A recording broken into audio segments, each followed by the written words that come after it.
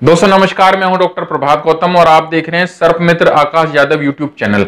दोस्तों, सर्प मित्र Akash Yadav YouTube channel में आप सभी का बहुत बहुत स्वागत करता हूँ। दोस्तों, मैं एक होम्योपैथिक कंसल्टेंट हूँ, यानी कि होम्योपैथिक डॉक्टर हूँ, और मैं आज आपसे बात करने वाला हूँ नाजा होम्योपैथिक मेडिसिन के बारे में। आज मैं आपको इस वीडियो में बताऊँगा कि नाजा होम्योपैथिक मेडिसिन आपको किस डोज में, किस पोटेंसी में और किस किस ड्यूरेशन में यूज़ करनी है, और ये कौन कौन सी बीमारियों में काम आती है।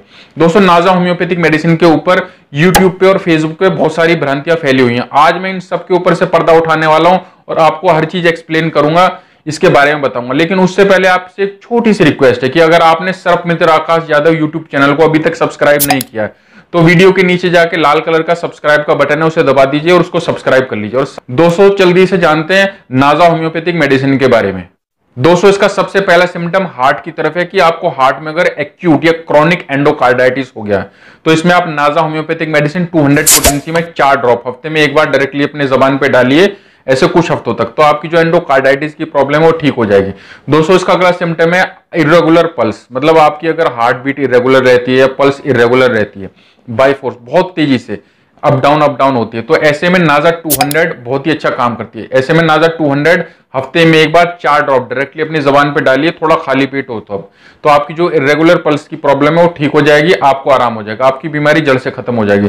दोस्तों, इसका अगला सिम्टम है एंजाइना पेन की तरफ़ कि आपको अगर एंजाइना है एंजाइना का पेन उठता है तो आप इसको चार ड्रॉप डायरेक्टली अपनी जबान पर डाल लीजिए, एकदम से आपको रिलीफ हो जाएगा। दोस्तों, इसका अगला सिम्टम है कि आपको इन्फेक्शियस डिज़ीज़ हो गई है हार्ट में।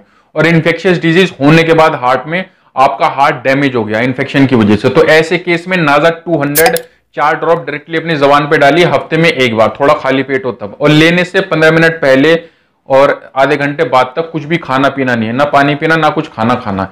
ऐसे आप इसको कुछ हफ्तों तक ले लीजिए, हफ़्ते में एक बार। तो आपकी जो प्रॉब्लम है, जो आपका हार्ट डैमेज हो गया इन्फेक्शन की वजह से, वो ठीक हो जाएगा, आपको कंप्लीटली आराम हो जाएगा।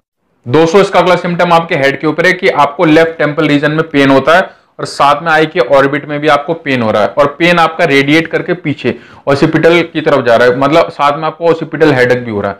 आपको अगर अपने ऊपर ये पर्टिकुलर सिम्टम देखने के लिए मिल रहा है तो आप नाजा 200 चार ड्रॉप डायरेक्टली अपने जबान पे डालिए, रात को सोने से जस्ट पहले। ऐसे कुछ हफ्तों तक ले लीजिए। तो आपकी जो प्रॉब्लम है, अगर ये सिम्टम मैच हो रहा है, बीमारी जड़ से खत्म हो जाएगी, आपको कंप्लीटली आराम हो जाएगा।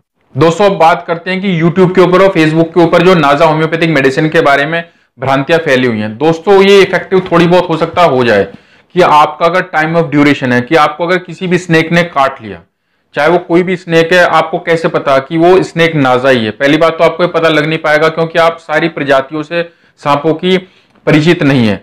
सर्पमित्र आकाश यादव जी सब सांपों के बारे में जानते हैं, वही आपको पर्टिकुलर पूरा अच्छे से बता पाएँगे कि फ़र्स्ट एड क्या लेना है और फिर कैसे क्या करना? दोस्तों, आपको अगर कोई भी सांप काटता है तो आप नाजा होम्योपैथिक मेडिसिन के ऊपर डिपेंड नहीं हो सकते।